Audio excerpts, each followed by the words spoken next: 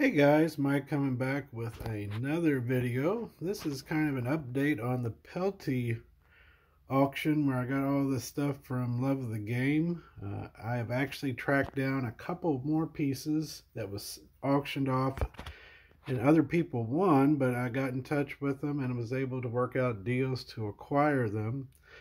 Uh, so I was very happy about that. Um, I got a few SGC return, a photo. And this here was very nice. This, uh, after a week or so after Love of the Game sent me my Pelty stuff, uh, I got a package from them in the mail. And I had no idea what they were going to send me. Because I figured, I thought, well, maybe they sent me a like a PSA DNA letter they forgot to include with uh, with the stuff and um, when I opened it up, I was surprised to see it's a lot of interesting items associated with Pelty as far as when he passed, newspaper clippings, uh, obituary columns, uh, even some letters that he received. I haven't had time to research them yet. I don't know if they're from teammates or who. Um, Charles C. Spink and Son, uh, they had something to do with uh, sporting news, I believe. Um, letters from friends. I love how back in the day in small towns, you could just put somebody's name in their city and state and it would get to where it's going. But uh, very nice stuff. It's got uh, uh, these, uh, I love how they call that death column, obituary column, necrology. Um, and a picture of Pelty with a old-fashioned hats on, very cool. But this is uh, some different obituaries that um, that um, were written. I don't know for sure what publications these were in. Um, this is a article starting to Sporting News is on doing an obituary for him and put that in their paper. Uh, this is the original one from the St. Louis Post-Dispatch. Thursday, May 25th, 1939. He actually passed away on um, Wednesday morning. And um, this was the main column. And they had a whole bunch of these articles on it uh, from this newspaper. Someone sent them, I guess a few people sent them copies of this. And um, I've got extras. If anybody's interested in one of these, let me know. Just kind of a neat little piece. It talks about his life. And the letters that he received, they just threw all this in. I asked him, uh, Andrew was the guy that I've been talking to with Love of the Game. Very nice guy. Um, very helpful. And then he was he talked to the company or to Love of the Game, and they thought that all these pieces should belong with the scrapbooks. And that's why they sent them to me was because I would want the scrapbooks from the auction. So a nice little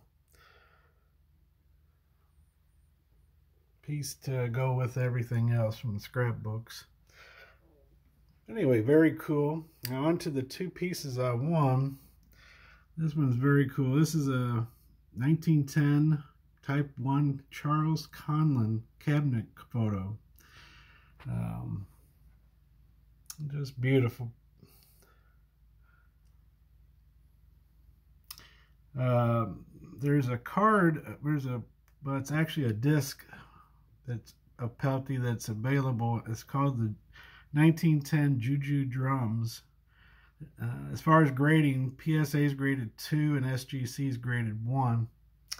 And uh, they actually, it's a small disc, I guess kind of like a Kogan's chips.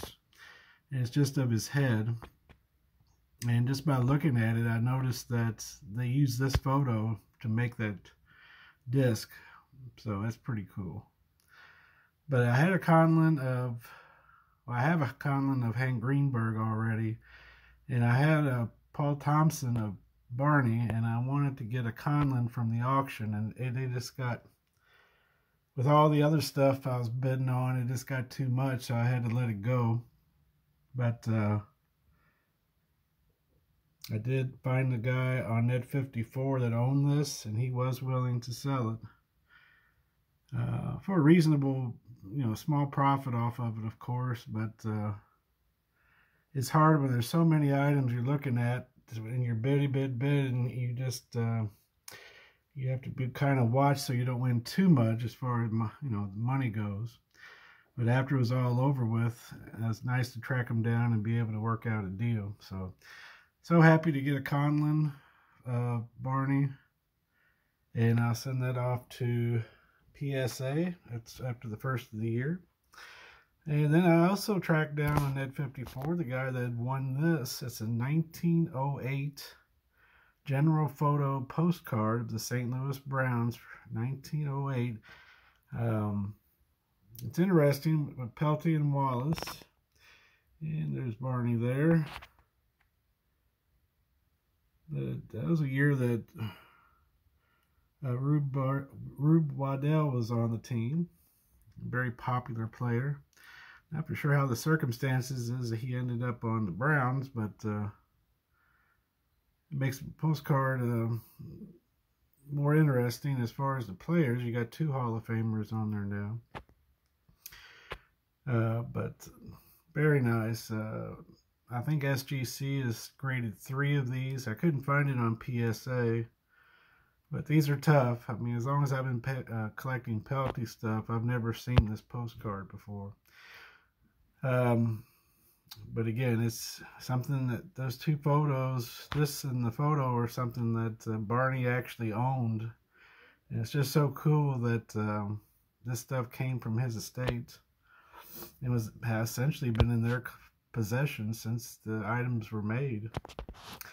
Uh, I talked to Andrew about the Conlon. Uh, it's even it's marked on the back.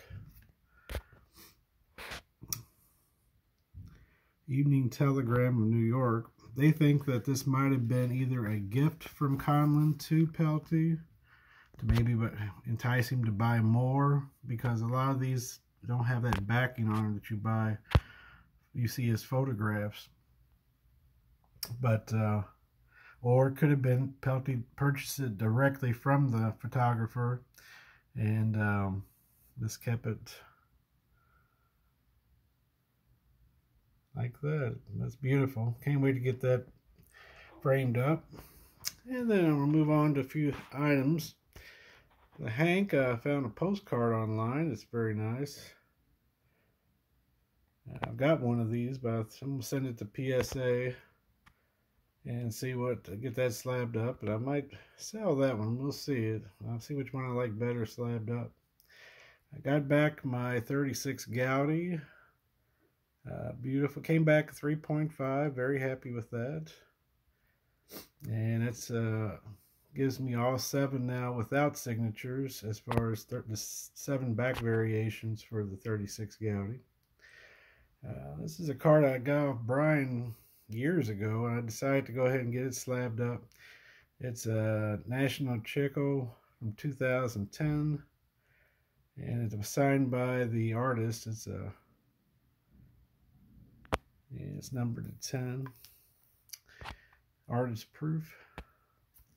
Came back double tens. I wasn't expecting that. And then I got some of these national treasures. I had these for a long time. This is 2012. Back then they wouldn't slab it because um, they were thick cards, but now they can do thick cards. So I'm starting to send some of these bin, uh, back in to get them slabbed up. This one's got Greenberg, Jimmie Foxx, and Mel Ott. Looks like a piece of glove from Jimmie Foxx. But these are numbered to 10 was 410, very cool. And this year, uh, Topps, I guess Fanatics decided to get Hank back in the mix for Topps products. He hasn't had his picture on anything for a few years now. Uh, and then this year's Allen and Ginter. Uh, this is from Ginter X. This is the red mini, hand numbered to 5. And then this is actually one of the rip cards, numbered to 25. No, I'm not going to rip it. I have a bunch of bench rip cards and now my first Hank. So I'll keep it just like that. But I'm so happy to see him back in Topps products again. So now maybe we'll see some cut autos with uh, his picture in them, uh, which will make him much more desirable. And going to end on this photo of the night, as Rick would say. Uh, this is a 1934 World Series with the Detroit infield, including Hank, of course, and Charlie Gehringer. I got this from RMY Auctions. They specialize just in photos, so you can usually find some really neat stuff. Beautiful photo, great picture. You can even read his name on the bat there. But uh, very happy to get this in the collection. Uh, type 1 photos seem to really be taking off right now.